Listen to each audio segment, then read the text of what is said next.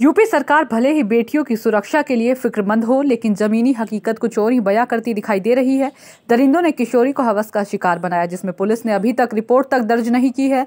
वहीं गाय को चारा डालने गई एक छात्रा के साथ भी रेप करने का प्रयास किया गया। छात्रा के शोर मचाने और चीखने पर न सिर्फ़ उसे बेरहमी से पीटा गया, बल्कि उसका मोबाइल छीन कर उसे तोड़ा गया, ताकि वह पुलिस को फ़ोन न कर सके। नाकाम दरिंदों ने उसे जान से मारने की धमकी भी दी, जिससे छात्रा डरी व सहमी हुई है। ताज़ा मामला मूसाझाग क्षेत्र का है, जहाँ गाय को चारा डालने गई छात्रा को दरिंदों ने हवस का शिकार बनाने का प्रयास किया, जिससे छात्रा डर गई और वह चीखने चिल्लाने लगी। दरिंदों की बदनियती देख छात्रा ने अपने मोबाइल से पुलिस की मदद लेनी चाहिए, लेकिन दरिंदों ने मोबाइल छीन कर उसे तोड़ दिया। बदहवास छात्रा ने कप्तान को शिकायती पत्र सौंप कर न्याय की गुहार लगाई है। मैं कल सात बजे शाम अपने घर में गई थी, गाय को चारा डालने।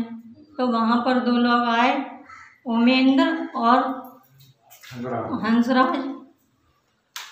उन्होंने मुझे पकड़ लिया और मेरे साथ गलत काम करने की वो की। फिर मैंने चिल्लाया और मेरे घर वाले आ गए। मेरे घर पे कोई नहीं था, सिर्फ़ भाई था और मेरे पापा थे। जब मेरे पापा ने कुछ भी बोला, वो भाई ने तो भाई को भी मारा और भाग गए मार के। और मैं घर पे अकेली थी। और मैंने फ़ोन किया पुलिस को तो पुलिस ने भी नहीं सुनी। सुनी भी थी तो आई भी थी। तो मेरे भाई को उल्टा पकड़ के ले गई। के पी सिंह दरोबाजी आए थे, लेकिन मैं वहाँ गई थी तो उन्होंने मुझे गलत गाली दी थी और गाली गलौज करके और चले गए।